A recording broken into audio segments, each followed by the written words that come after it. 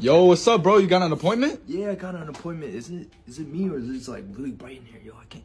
What you mean, bro? It's literally dark outside. What you mean? You never seen nobody in New York City wear sunglasses outside at night? Get with the program, bro.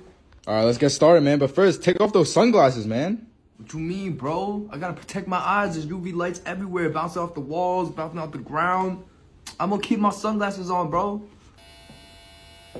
Yo, bro, it's getting in my way. Can you take them off?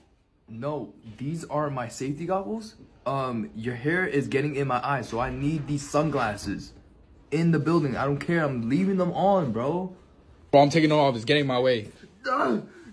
Yo, I need my sunglasses, bro. Bro, what are you trying to Yo, hide? my eyes, dude. Get my sunglasses, bro. You're overreacting.